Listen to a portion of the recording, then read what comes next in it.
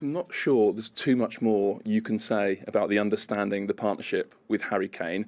But all I, I, I thought watching today is, does he give you so much confidence in terms of making your runs? Because you know he'll make the pass, you know he'll win the header. No, I mean, uh, I just make him make make this runs for for another option. If he don't pass pass the wall, probably there will be other space to somebody run or to Harry to shoot. So.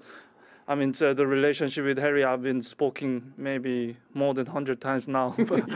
more than that. more than hundred times. So I mean, it's, uh, it's, incredible to having this striker next to me, alongside to me, and yeah, it's just uh, incredible to even even. I'm really feel bad. Sorry for him today that he didn't score. He had a couple of chances, and uh, yeah, didn't look sad. yeah, he looks sad. Obviously, as a striker, if you, I feel sad as well for him because I want to, I want to always that uh, he scores so many goals and he won everything as a, as a teammate, as a friend. So, I mean, the, I'm really happy to playing another another assist from to Harry. So I want another assist next time. Well played yourself. Brilliant. Thank you very much. Thank you. Well done.